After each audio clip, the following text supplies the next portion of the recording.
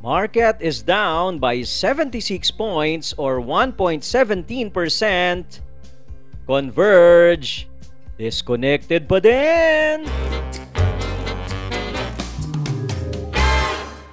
Hello mga titos and titas! Welcome to Tito Vlogs! Today po, Market Summary Tuesday edition So, pagkukwentuhan ulit natin yan si Converge, no? Pangalawang araw pa lang naman ho siya, eh, no? Na bumibida sa takilya. So, uh, sama natin sa market summary. At yung dalawang telco, ayan na, ang saya na ng telco serye natin. Apat na sila, pero tatlo lang ang re-reviewin natin ngayon. Yung uh, dito at yung now, mga titos and titas. At syempre, isasama natin yung katandem dati ng dito, yung M&M's at yung ASEN, isisingit na rin natin. Tara, tara ho, let's have a short prayer bago po tayo magsimula. Dear Lord, we praise and glorify you for your faithfulness and provision. We ask you to bless us and guide us as we journey towards this chaotic world of the stock market. Amen, amen, amen.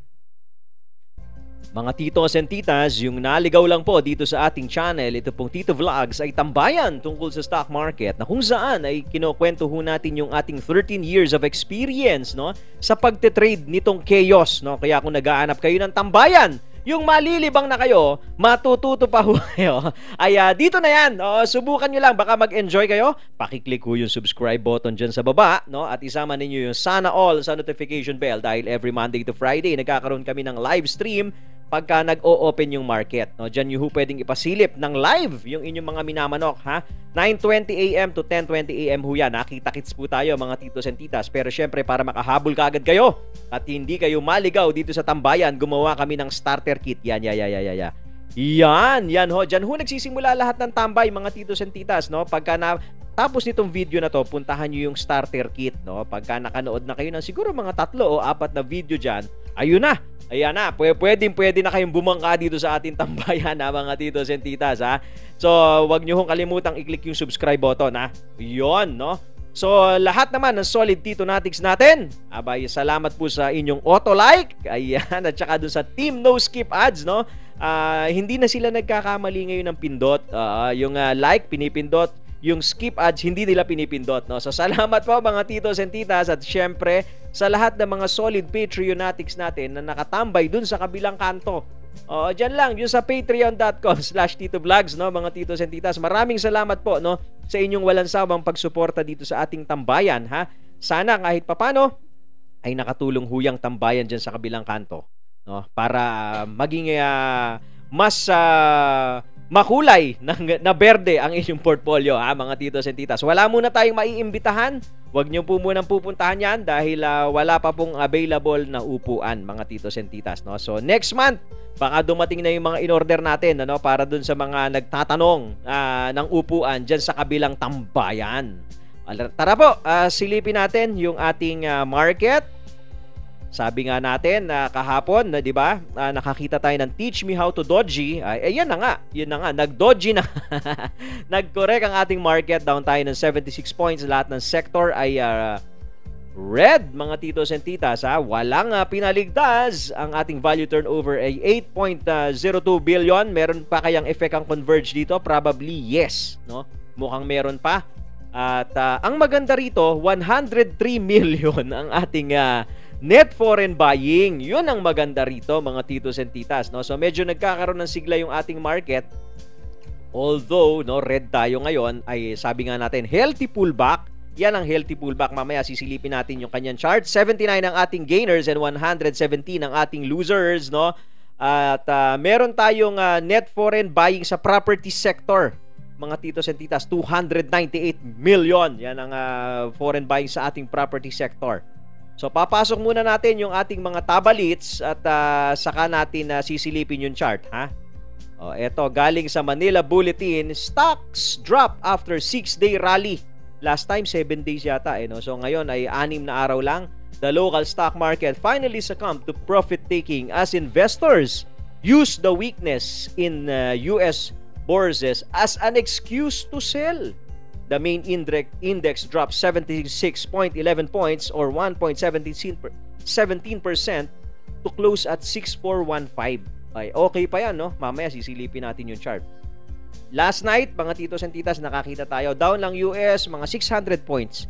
Sabi ko nga, hindi naman ganun kalakihan yun. Oo, uh, pero syempre, nakakita nga eh, time na rin to correct. Palagay ko kahit na hindi red ang US, uh, ang ating market ay magko-correct pa rin, no, mga titos and titas. So, so yan, down ang market natin, healthy pullback. Uh, kung ako tatanungin nyo, that's a healthy pullback, no? Next balita galing po sa Business World, deposit growth to ease as holiday season approaches deposit growth is likely to slow in the remaining months of 2020 as Filipinos are likely to tap their savings for the upcoming holidays. Uh, sabi ni uh, Deputy Governor uh, Chuchi G. Fonasher. Oh, yan ha, mga titos and titas. Maganda to para sa akin ha. Uh, maganda to. Ibig sabihin, ito yung sinasabi natin na tumosgas na. Uh, so, itong outlook na to ni Tita Chuchi uh, ng uh, BSP ay maganda po dahil uh, kung totos gas nga eh mas maganda para ma-fuel ang ating economy. Again, yung uh, gagastusin itong ating mga uh, kababayan ay sabi nga ay galing sa kanilahong ipon, galing sa kanilang savings. So makakatulong ito sa ating uh, ekonomiya lalo na ngayong darating na holiday. Yan ha, mga titos and titas. So good news yan. Next balita, galing po sa Philippine Star, impact of drop in remittances to GDP minimal, sabi ng BSP. Manila, Philippines, the projected 2% decline in remittances from OFWs due to COVID-19 pandemic may have minimal impact in the economy according to BSP. So, BSP Governor, Governor Tito Ben Jokno, no risk to OFW remittances remain on the downside due to uh, mainly to the continued large repatriation of displaced workers, the 61.8% drop in deployment from January to July, and remaining containment measure in some places in host countries. Now, the expected uh, 2% decline in uh, OFW remittances in 2020 is expected to have minimal impact in GDP. Uh, so bababa daw ng 2%, no? Yung uh, yung uh, OFW remittance ngayong 2020. So may, min, sabi ni Tito Ben, minimal lang ang impact niya sa ating GDP. Abaya, yun nga, that remains to be seen, ano? O, makikita natin yung numero, yung ending GDP natin, ang pinaka-importante, saan kaya tayo magtatapos, ang sinasabi ng Central Bank, negative uh, parang ranging from negative uh, ah, 5.5 to 6%, no? Yan ang mga forecast mga titos and titas. So, negative pa rin ano. Uh, yan ha. O, ipasok natin yung ating market. Asan yung market? Bumalik sa market summary. Ito po, sandali lang po ah. Ilo-load lang natin. Habang nilo-load yan, huwag nyo hong kalimutang i-click yung uh, like button, yung hindi pa nakakahit na subscribe after makinig ng ating market summary, baka naman, baka naman pwede nang i-click yung subscribe button ha. Ang ating index po, mamaya na yung MMs. Index muna.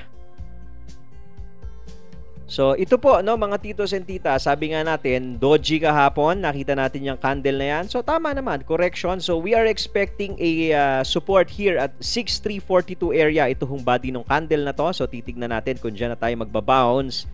At uh, nakikisama rin yung ating RSI. So, ang RSI natin ay yumuko na rin dahil uh, nag-overheat na tayo sa 79. Tama lang, no? So, mas maganda hanggang dito sa 6348 Worst case natin, ako dito ako nakaabang sa 6208, no? Uh, probably by tomorrow, uh, ano ba bukas? Miyerkules, hump day. Webes, no? Magko-cross na ho ito, itong yellow sa pink. Yan, sigurado yan. Uh, bukas uh, or uh, Thursday, makikita na natin mag-cross yan. And uh, tignan natin kung Friday makakakita tayo ng Bull Friday. Let's sil- silipin lang natin yung weekly ha. Ano pa ba ginagawa? Ayun, nagte-trade na pala tayo above uh, 50 MA. So po pwede rin pala tayo makakita ng support diyan sa 50 MA no mga titos and titas. So mas maganda pero ako mas gusto ko i-touch yung 200. Mag-consolidate do sa 200 no para sa akin para mas maganda-ganda yung buwelo no yung sa 200 MA natin. So mga 62 si 62 mga ganasa ganon. So mas maganda-ganda yung buwelo uh, kahit ngayong linggo lang, no, yung remaining days of the week, uh, 3 days, 4 days, no? So, siguro mga nasa ganyan hanggang siguro early next week and then makakita na tayo ng bounce. Oo, ang ganda na ng forma ng MACD. Ito pagka tumawid dito, ito ho, no, tong MACD na to sa weekly. O, yan ang happy-happy. Yan ang Merry Christmas pagka tumawid dyan sa zero. Yang weekly, mga titos and titas, ha? Sa MACD natin sa daily, o, wala pa tayong problema. So, mukhang makakakita tayo ng magandang Pasko nito. Uh, but uh, we are not discounting pa rin ano mga titos and titas. Siya ang uh, US market yung election. Uh, uh, yung iba bumoboto na raw no? So maybe kung hindi na tayo makakita ng drop diyan oh, pwede na. Pwede na tayong medyo umalagwa pa ng konti uh, ito nga pagdating ni Santa Claus masalubong man lang natin si Santa Claus no mga titos and titas ha so yan ang ating uh, PSEI Si Converge ba? Ano ginagawa? Si Ayan, silipin na natin si Converge. Second day, pula rin mga titos and titas. Down tayo ng 8%, ah, no? Nag-low tayo ng 13.20, nag-close tayo ng 13.92. So mukhang may rebound na. Sisilipin natin sa 5-minute chart kung makakakita na ba tayo ng rebound by tomorrow. Ayun. Ito, dito. Kung sakali man, sabi natin, nandito na titignan natin. Nasa 1431, ito body nitong candle na to. 1425, 1430 area. Ito, itong body na yan. Yung area na yan. Pwede tayo dyan makakita ng resistance, no? Kung bibiyakin yung 1425 area, dito tayo sa 1498 or 15 area. Yun, kung makakakita tayo, ha? Kung tapos na kaya yung uh, pagbagsak nito. So kanina ho, uh, October 27 ano, oh, nakakita tayo ng drop eh no mga maaga-aga pa. Pero pagdating ng uh, 10:30, uh, yan, uh, 10:25 to 10:30 flat na. Uh, nag-flat na ho ito. So wala nang uh, nangyaring laglagan ika nga, no? So ito ba ay buwelo? Makikita natin tomorrow sa opening. Ang crucial sa atin sa 5 minute ha. Ito hong MACD. Tatawid ba to ng zero? So pag tumawid ng zero yan, bullish tayo. Po pwede tayong uh, dumiretso dito sinasabi natin sa 1425 area. So yan muna yung ating resistance, no? Uh, mga titos and titas. And then next natin is yung uh, ah, 15 area na. Ngayon po, mga titos and titas, ang support in case no, hindi yan kayang tawirin, nandito pa rin sa 1320 pero pagka ganyan baka makakita tayo ng isa pang drop. Yung third day no? Uh, na drop kung sakali man ha, kung sakali man na uh, malalaglag pat mamumula pa to bukas, palagay ko makakakita na tayo ng bounce. Kung sakali man, yung pangatlong araw sa experience po natin, i-share lang natin ano, sa experience natin, uh, yung uh, pangatlong araw na drop, normally nandun makikita mo na yung bounce eh, no? kung mamumula man to. Marami nang sasalo dito kung sakali mang mamumula. Oo, yan ha. Yung mga bounce player ang sasalo dyan ha. Kung hindi ho kayo marunong mag-bounce uh, play, abay wag niyo na hong mag wag niyo na hong i-attempt isaluhin. Oo, 'yon ha, dahil baka maipit kayo. Kasi yung mga bounce player pagka nakasalo sila, let's say uh, tomorrow sa opening na laglag, o mabilis din 'yan, very quick 'yan. So yung mga nag-attend po ng webinar natin last Friday, ito ho yung sinasabi natin na momentum trade, no? Uh, yan ho, dyan ho makikita yung momentum trade kung sakali man magkakaroon ng bounce. No? Nakita nyo naman, no? mabilis lang, quickie lang yan, at uh, pwedeng mag-e-exit ulit. Uh, so maganda ho kung hindi man kayo sasalo tomorrow ay i-observe at least i-observe lang dahil matututo po kayo dito sa gagawin nitong si Converge bukas. Uh, yan ha. Eh, doon na kayo tumambay na kayo bukas sa umaga sa market summary po. Uh, ay, sa market summary, sa opening bell live natin ha. Uh, yan po si Converge at ipapasok natin yung uh, official official port telco. Uh, mamaya na yung third. Patras tayo.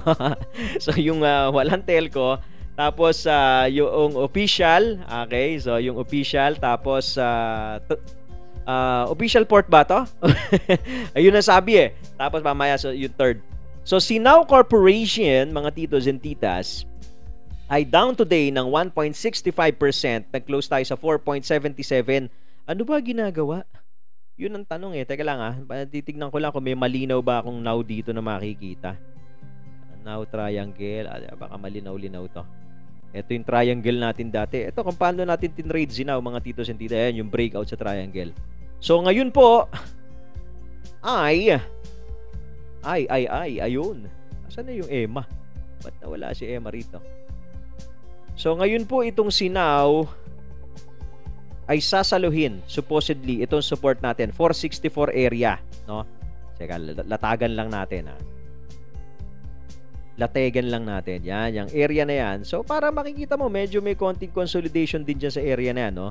So yung body nitong candle nito ilan na yan? To yung body nitong October 9 body nitong October 13 itong October 21 di ba? So po pwede ho kayong makakita ng support dyan. In case no, yung 200 yung 20 MA, yung red line ay mabiyak, dito ka susu, dito ka nahahanap ng support. Uh, 14 16 area. Apo, yan, itong body naman itong candle na to. So diyan ka naman makakakita ng support in, in case na biyakin.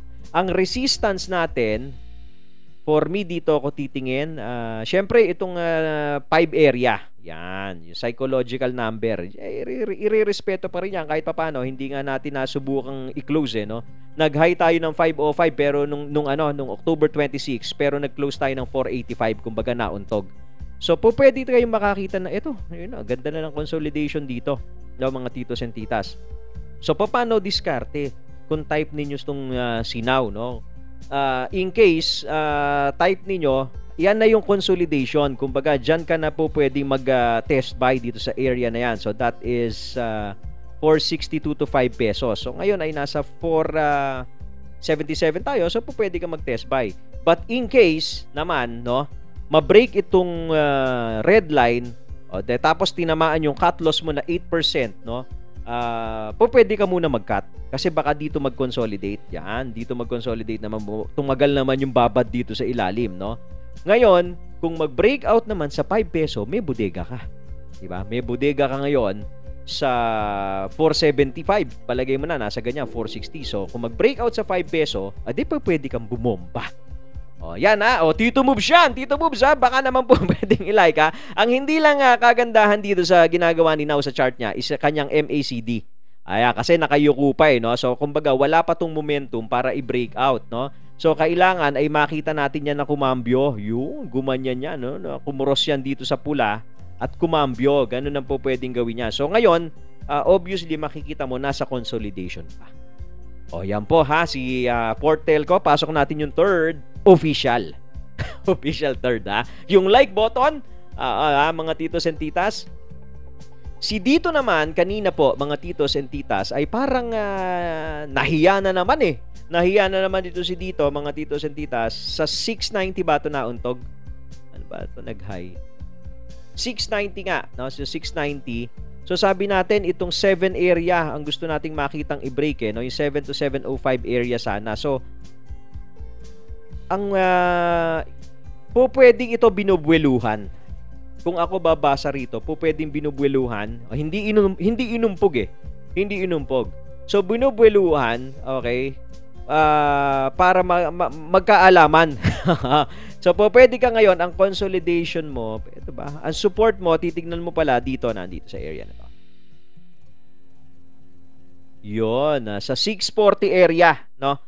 Yan ho yung kanyang support na po pwede mong makita. Kasi ba EMA nito? Bakit kasi nawala ito? Insert. Teka, lagay lang natin na EMA. Lagay nga natin si Emma. Ba't nawala kasi si Emma? Saan nagpunta si Emma?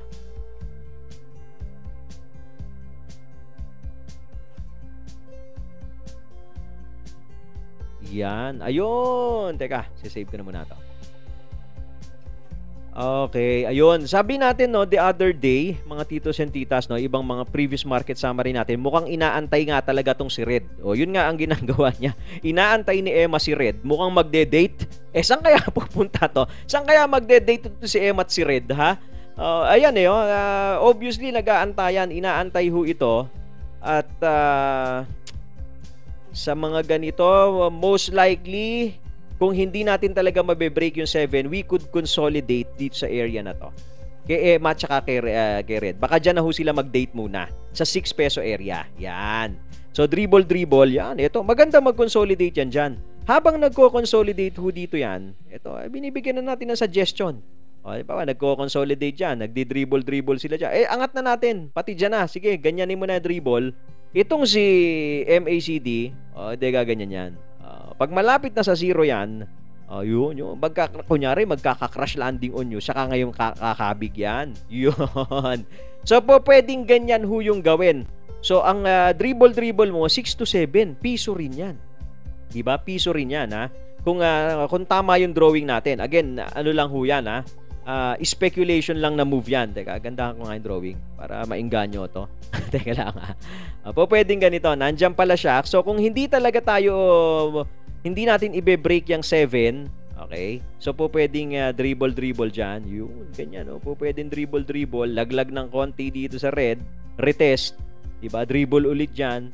O oh, yeah, ganyan lang. Pwedeng ganyan ganyan siya hanggang kailan? Oh, yeah. hanggang sa uh, ayan, hindi natin masasabi, 'di ba? Aabutin ba kasi ang tinitignan nating catalyst na ho dito, 'di ba, yung kanyang uh, uh, technical launch which which will happen sa March pa. Oh, so matagal-tagal. So ma- pwede ba tong pwede ba tayo makakita ng ganyang consolidation?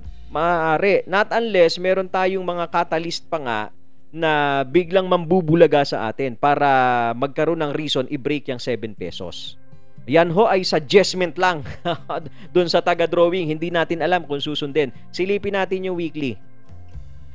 Mas maganda yung ganyang price structure no for me, mga titos and titas. Ayun, sa weekly pala pagka nagganyan yan, baka yumuko ito. Sa weekly. Baka yumuko itong blue or magpa-flat yan, mag-aantayan din to sa weekly para magiging ganyan, ano? Baka maging ganyan yung itsura sa weekly, pero uh, ayos pa naman yan. No, but but but then again, be prepared no for anything that uh, that could happen dito sa dito. Pwedeng bomba, pwedeng consolidation, no. At least ang worst case na tinitignan mo dito, consolidation nga sa sais. Para sa akin lang ha, kung ako babasa nito. Konso dito, yan, diyan sa air, diyan sa area na yan, nasa 6 peso level. No? So, not bad. Not bad. Mga titos and titas ha. O, again, magandang development yan. Aantabayan na natin uh, titignan natin mga solid uh, dito natics dyan sa Patreon, mga solid Patreonatics. Let's see if we can uh, make another playbook. Oo, pang ilang playbook na yan? Pang 5.0 na siguro ni dito to o pa 6.0. Eh tama-tama kung mag-consolidate sa 6. 'Di ba? So tingnan natin kung makakagawa po tayo ng playbook. Antabayanan ninyo 'yan. Yan ha, mga titos and titas. Yan muna si dito. Ipasok natin si MM. Hahabol ba to? Bobol hubs ba to? It's Si Eminems kanina, pa, nakakita pala tayo ng uh, low na 331 ulit, no, mga titos and titas. Ano ba to? Ba't ganito to ang drawing ko ng Eminems? Dali ah. Load natin yung chart niya. MM Konso. Yan. Dito tayo MM ko. Puro Konso. Naging paborito yata natin ng uh, Konso ngayon ah. Ayan ah. Oo. Ito pong si Eminems ay uh, nag-break. Ano ba tayo nag-close? Sabi natin 340 close, a ah, close kasi above 340, silent breakout for me, no? So 345 tayo nag-close ngayon. Yesterday we close at 342. So para sa akin hindi lang nagpapapansin to pero breakout. 'Yun, po pwedeng ganoon ang ginagawa, no? Parang uh, tahimik lang siya pero yun na eh. O yun eh. Nasa ibabaw na talaga eh. O, nasa ibabaw na siya talaga. No, so next uh, resistance natin, sabi natin 360 ba? Oh, 360 malapit lang to 360 pwedeng pwedeng pwedeng uh, tagusin yan no? So yan na yung Rex resistance. Ang support natin will still be here mga titos and titas ha wag nating i-discount na po pwede pa rin itong uh, manurpresa itong area na to. 325 ba to? Lagyan natin. Sige na ayusin na nga natin tong ano dahil uh, baka tumagal na naman uh, itong uh, M&M's natin eh. Ayusin na natin. Yan. So, yan ho. No? We cannot discount the fact na po pwede pa rin tag tagusin yung 325 area as our immediate support, no, mga titos and titas. Teka, save na natin yan. So, yan na yung ating M&M's chart. After 360, yun na. Oo, uh, sana tayo di. Yan muna, 360 muna. Baka masyado kayo ma-excite eh. Baka sabihin yun, maha-hype na naman kayo niyan. Ay, baka nakakalimutan i-like ha, mga titos and titas ha. Uh, next, yan muna si MM. Ipasok natin si Asen last na. Ito, ganda rin na ginagawa nito. Yun nga lang, natot ga na tayo rito. Medyo para sa akin, late in the game na. So, so congratulations sa lahat ho na nakabudega dito kay Asen. Ang gagawin na lang nito para sa akin ha, uh, dito na natin tignan. Kasi this is trading uh, on its high na eh, di ba? So, uh, ang gagawin na lang nito, mga titos and titas, antayin nyo na lang muna mag-consolidate yan. So, bomba. Ayan na, ito. Sundan nyo itong blue, na, blue line na yan. Conso. Di ba? Pagka nag-conso dyan sa blue, bodega, 30%. Bumaba dito sa next stage na to, ano ba, ano ba itong blue na to? 340, 340, 350 area. Di ba? 30% karga ka. Bumaba dito sa next stage, ano to? 310? O, karga ka another 30%. Di ba? O, kasi sasaluhin niya ng blue. Ngayon, ang maganda rito kasi, yun nga eh, lagi niyang gustong i-break eh, no? Hindi na natin alam kung nasa na next resistance. Diyan ka muna sa 395. After that, ano yung susunod? Ang babantayan niyo ho dito is the RSI, no? Itong RSI niya tuwing uh, ito 84 yung huli, 80 yung last time prior to 84, di ba? Tapos nag-80 uh, nag uh, 80 muna and then uh, 84. So yan ho yung babantayan niyo. So if I remember correctly, di ba, ano ba to? Energy, no? Power. Last time, uh, 2017, uh, 2019 bull market, Aboitiz Power yung, yung nanguna. So, balikan nyo yung, meron akong uh, vlog, no? About, uh, uh, do, doon sa mga blue chip, blue chip, no? Nasama natin yung Aboitiz, nasilip natin yan. Yung vlog natin last uh, Sunday, mga tito. So, silipin nyo. Aboitiz ang maganda nun eh. Power din yon Hindi natin alam kung power sector din ba mangunguna, pero silently, no? Oh, yan. So, tignan nyo po ito. Bantayan niyo Kung meron kayo, eto, nakita natin to. Binudega yan dito somewhere here. Pero hindi man tayo nagbudega. Kung meron kayo nito at nakabudega kayo, wakan nyo na yan. Wakan nyo na, no? Uh, mga titos and titas, ha? So, ayan muna. Oo, uh, yung like, ha? ayan, ha? Uh, mga titos and titas, paano? Uh, yan muna, mga titos and titas, ha? Uh, as always, no? Uh, trade wisely. See you all tomorrow. God bless you all. Bye.